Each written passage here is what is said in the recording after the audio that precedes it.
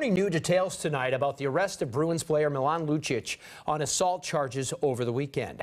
Police arrested Lucic on Saturday morning at his home in Boston. WBZ's chief investigator Cheryl Fiandaca explains what police say triggered Lucic's attack on his wife that landed him in handcuffs. Her husband attempted to choke her there. She's in the lobby.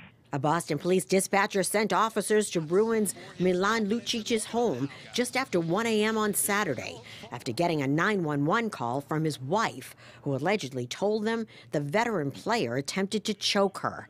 The police report shows she met officers in the lobby of the building, telling them during the night Lucic could not locate his cell phone. He began yelling at her, demanding his phone back, believing she hid the phone.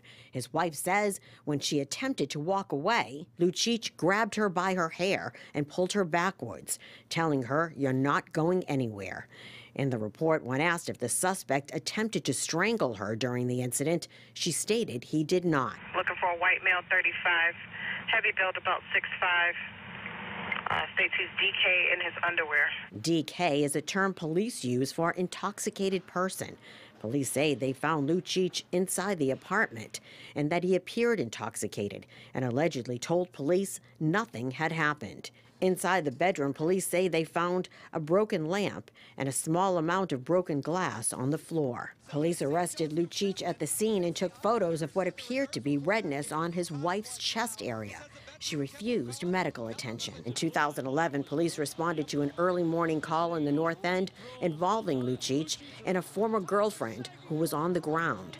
At the time, the couple said it was a misunderstanding. After his arrest, Lucic was placed on leave. He's now charged with assault and battery on a family member and is due to be arraigned on Tuesday. Cheryl Fiandaca, WBZ News. And this is an important reminder. If you or someone you know needs help, there are resources available. The National Domestic Violence Hotline is open 24-7. The number is also on your screen. You can text START to 88788.